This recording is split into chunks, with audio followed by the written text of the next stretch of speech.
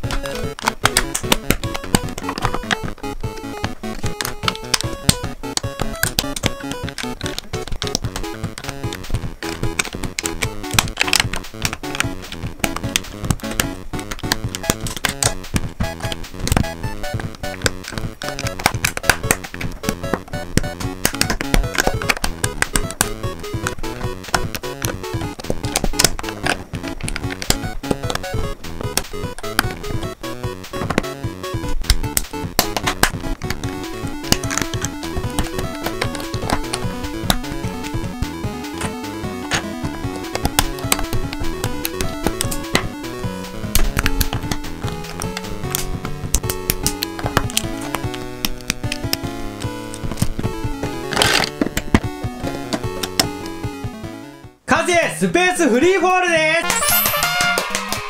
はい、ジェットフライヤーからフリーフォールに組み替えましたこのスペースフリーフォールは今回組み立てた3つの作品の中で一番高いです。これは画角ギリギリの高さになっております。ちなみに組み立てにかかった時間は全部で1時間10分で完成しました。はい、こちらがスペースフリーフォールのミニフィグです。ちなみに前回のジェットフライヤーの時にも言ったんですけど、基本的に言えばミニフィグのパーツが入れ替わってる形になっていて、今回も入れ替わっております。これがアトラクションのクルーで、この5人は家族になっております。ちなみにこのミニフィグが持っている棒は、身長確認の棒になっております。なので今回のフリーフォールは、この子供のミニフィグは乗せることができません。あの、僕はどっちかっていうと、ジェットフライヤーのロボットは入れて欲しかったなって思います。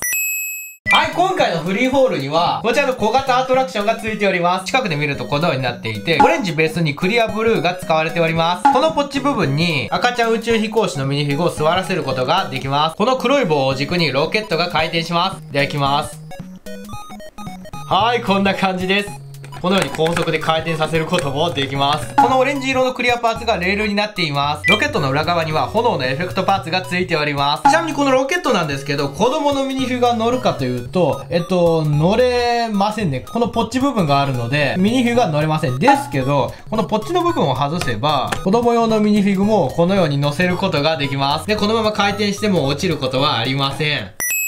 はい、じゃあこちらのスペースフリーフォールを見ましょう。この部分がフリーフォールで、ここがロケットになっております。では近くで見ましょう。まずこちらがフリーフォールの乗り場部分です。乗り場の造形についてはこれまで作ってきた作品と一緒で、グレーベースに白色が使われております。で、このフリーフォールなんですけど、安全レバーがついていて、で、さらにこの安全レバーがこのように稼働します。こういう細かいところまで再現されているのめちゃめちゃすごいですよね。で、フリーフォールの頂上部分はこのようになっております。頂上部分には月と衛星機が乗っております。フリーフォールが頂上部分まで来ると、ここでロックして、ここを回転させるとフリーフォールが落ちます。はい、続いてはこちらのスペースジェット機です。このスペースジェット機めちゃくちゃよく作られていますよね。ジェット機の裏側はこのようになっていて、結構さっぱりとした造形になっております。で、この部分にライトブロックがあって、この部分を押すと、ジェット機のバーニアが発光します。では、押します。はい、こんな感じです。別角度から発光させると、はい、このようになります。そしてこのスペースジェットなんですけど、このように簡単に取り外すことができます。はい、では改めてスペースシャトルの全体はこのようになっております。僕が前に作ったレゴクリエイタースペースシャトルと、まあちょっと小さいぐらいだと思います。このスペースシャトルは小さいパーツとかがすごい使われているので、すごいよくリアルに作られております。ラガーはこのようになっております。では、こちらのフリーフォールを動かしたいと思います。フリーフォールはこの部分が動きますので、マックス上まで持ってきて、このギア部分をちょっと稼働させて、で、ここでロックします。はい、そうするとこのようにピタリと止まります。で、このままこのハンドルを回転させると、フリーフォールが落下します。では行きます。はい、こんな感じです。結構スッと滑らかに落ちます。では行きます。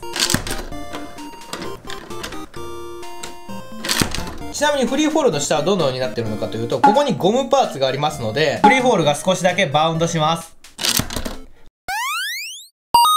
はい、ではミニフィグを乗せたいと思います。まず安全バーを一番下まで下げて、で、ミニフィグを座らせます。最大2体まで乗せることができます。で、ミニフィグの腕を少しだけ上げて、安全バーをここまで稼働させて、腕を下ろします。はい、こんな感じです。ミニフィグがあることによってすごい雰囲気が出ます。じゃあこのまま動かします。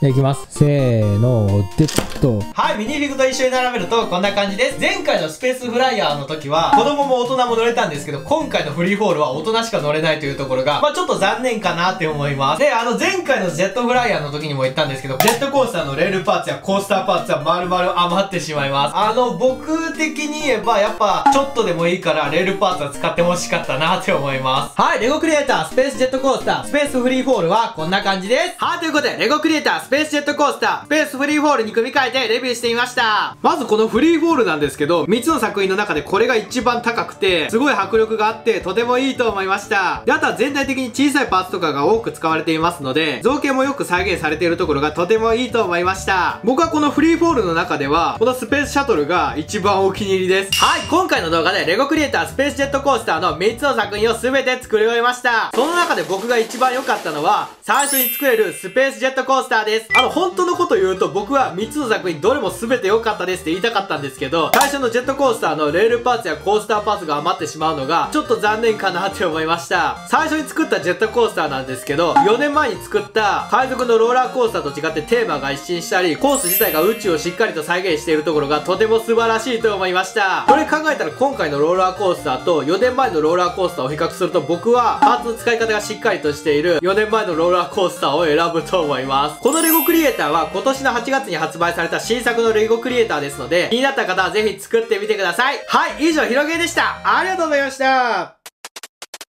はい、動画を最後まで見てくれてありがとうございます。僕のチャンネルに登録していただくと、最新の動画がいち早く見れます。チャンネル登録や熱い高評価、どうぞよろしくお願いします。それでは次の動画でお会いしましょう。ほななイェーイ